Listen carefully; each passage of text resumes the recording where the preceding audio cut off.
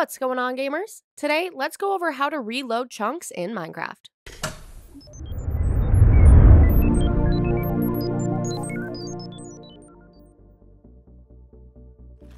As you move throughout your Minecraft world, its generation loads 16 by 16 areas of blocks according to the seed.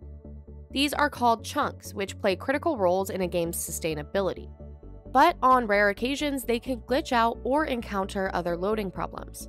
Fortunately, you can reload chunks in Minecraft to fix this. This functionality doesn't involve any commands, but rather keybinds built into the game, so if you want to know what to do, let's get started. Like I said, chunks are 16 by 16 areas in Minecraft. Players can see them visualized in-game by taking a look at this guide, which can help in reloading them. This is completely optional though, so when you're ready, you can move on to these steps. Launch Minecraft and join your server or your single player world. Head to the chunks you want to reload and then press F3 and A on your keyboard. And if it's successful, the reloading all chunks message will appear in chat. In cases where you're still having problems with chunks on single player or dedicated servers, you can also consider optimization.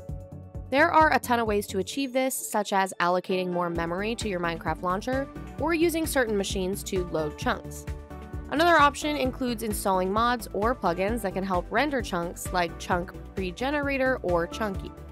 Alternatively, you can see if Optifine or editing video settings can help prevent world loading issues. These solutions might be perfect for you, so give them a try to see what works best.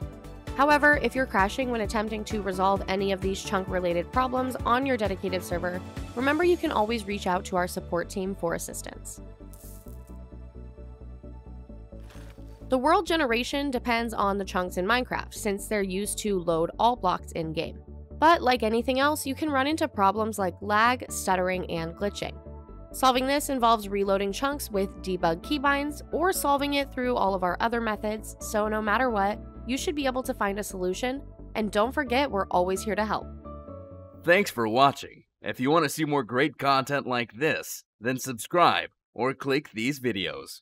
Until next time, gamers.